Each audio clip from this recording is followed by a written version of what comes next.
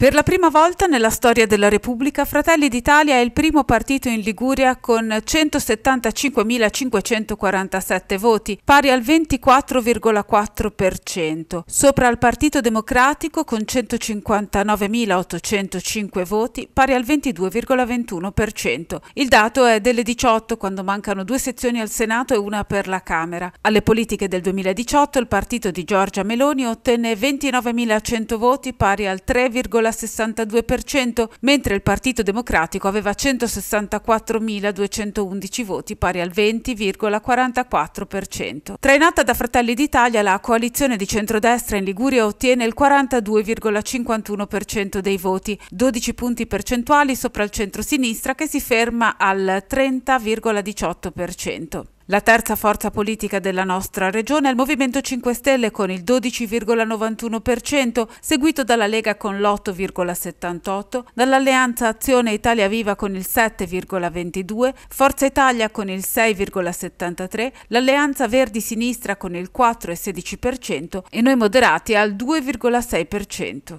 La Liguria esprime 15 parlamentari, 5 senatori e 10 deputati. Al Senato, quando mancano ancora due sezioni per completare lo scrutinio, sarà eletto l'assessore regionale Gianni Berrino di Fratelli d'Italia, già certo dell'elezione avendo vinto il collegio uninominale 1. Nel collegio 2 all'uninominale Stefania Pucciarelli della Lega è in netto vantaggio su Guido Melle del centro-sinistra. Nel collegio plurinominale del Senato risultano eletti Roberto Menia di Fratelli d'Italia, Lorenzo Basso del Partito Democratico e Luca Pirondini del Movimento 5 Stelle. Per quanto riguarda la Camera, quando mancano ancora i conteggi finali, su 10 seggi in palio per la Liguria hanno certezza di essere stati eletti Edoardo Rixi della Lega, Ilaria Cavo e Roberto Bagnasco, mentre nel collegio di Genova Ponente Luca Pastorino del centro-sinistra è in vantaggio su Sandro Biasotti del centro-destra.